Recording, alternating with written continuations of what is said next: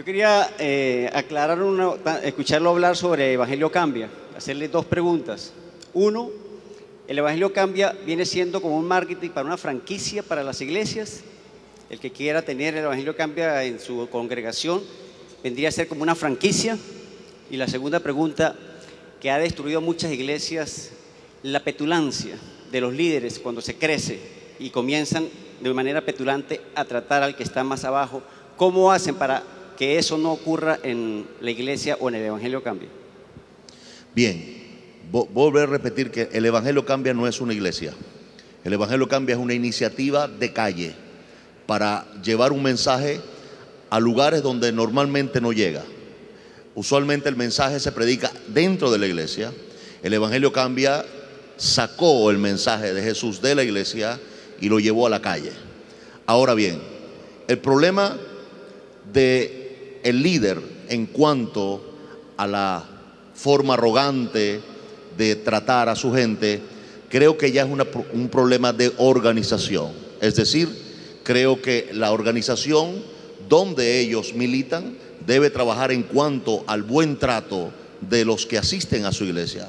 Una cosa muy difícil, por cierto, porque la iglesia cristiana en este caso no está institucionalizada como la iglesia católica. Es decir, cada organización tiene sus propias normas, doctrinas y formas. Y en este punto cuesta mucho eh, hacer una unificación de la conducta de un pastor. Muy difícil. Ahora bien, lamento que hayan pastores que maltraten a su gente, pero no son muchos, la verdad. Deben ser un grupo muy pequeño de pastores que maltratan a su gente. La mayoría de los pastores que conozco son hombres que aman a sus ovejas y que tal vez ese amor los hace ser sobreprotectores, pero es la mayoría. La minoría solamente pueden hacer esto. Es verdad que necesitamos no permitir que esto ocurra. Necesitamos atacar este punto si eso ocurre. Pero le repito, la iglesia cristiana está llena de organizaciones independientes. Así que es muy difícil hacer ah, una sola forma de liderazgo en cuanto a eso. Muy difícil cuando hay, no sé, 500 organizaciones que todas piensan diferente. Por eso mi propuesta de unirnos es en Jesús. Porque imagínense tratar de unificar las normas de toda la iglesia. Muy difícil. Ah, así que los invito a predicar a Jesús en las calles. En cuanto al Evangelio Cambia, no es una franquicia. Si fuera una franquicia, yo vendiera el Evangelio Cambia. Pero el Evangelio Cambia no se vende. El Evangelio Cambia se ofrece gratuitamente a todos los que quieren hacerlo.